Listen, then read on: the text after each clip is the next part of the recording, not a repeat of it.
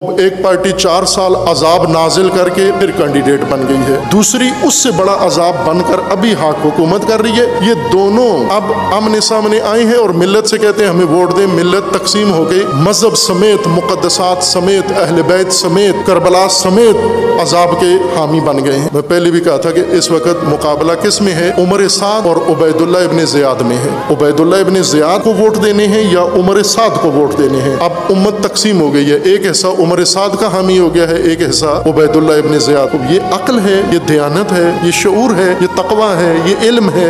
इमाम हुसैन अलैहिस्सलाम को छोड़कर लब्बैक कहो उबैदुल्ला को या उमर साद को तो इमाम हुसैन क्या कर रही हैं? कूफा में रहते हो, मुसलमान हो, तुम अपने आप को पैरोकार कहते हो, शिया कहते हो, दावत देकर बुलाया है। अब किसके लश्कर में खड़े हो? उबैदुल्ला के और उमर साद के लश्कर में खड़े हो। और हुसैन को कत्ल करने के लिए चाह पहुँचे हो तुम। क्या ये मातमी हुसैन के रोक नहीं सकते इस जुल्म को?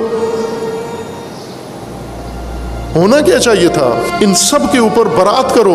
बरात उसवा इब्राहिमी ये है। इन्हें कहो कि हम बरी हैं तुमसे। इन्हें कहो कि नामंजूर हो तुम सारे हमारे। और इन्हें कहो कि हम दुश्मन हैं तुम्हारे। इसलिए कि तुमने एक तो अल्लाह का निज़ाम छोड़ा है। तागूतियत अपनाई है और तागूतियत के साथ अजाब बनाया है मुल्क मिलत के लिए।